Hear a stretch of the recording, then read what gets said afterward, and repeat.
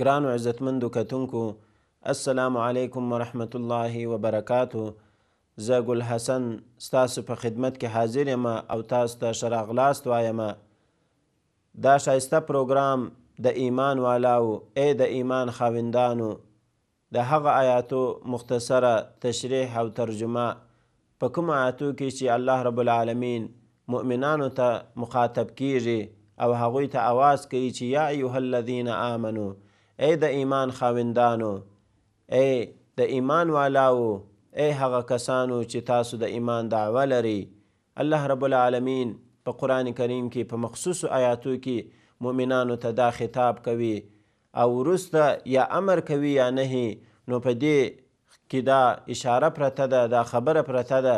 چي دا امر او دا نهی دا د ایمان د تقاضاوو څخه دي د ایمان د لوازمو څخه دي مؤمن به خامخا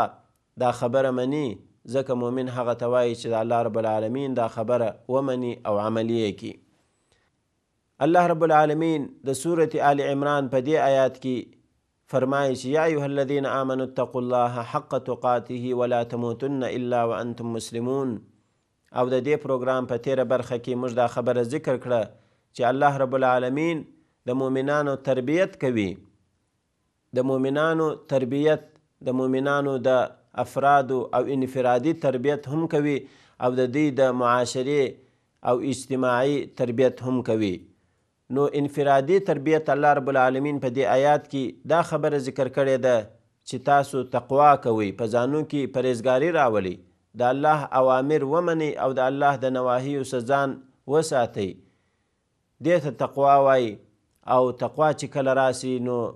هغه انسان بیا صالح او نیک او پرهیزګاره بنده د الله جوړ سي او کله چې انفرادي تربیت وسي نو د معاشري او ټولنې تربیت خپله کیږي نو الله رب العالمین اولا د هر کس د هر مسلمان تربیت کوي چې ته په ځان کې تقوا راوله بیا به ستا معاشره او ټولنه خپله اصلاح سي او خپله به د هغې تربیت وسي.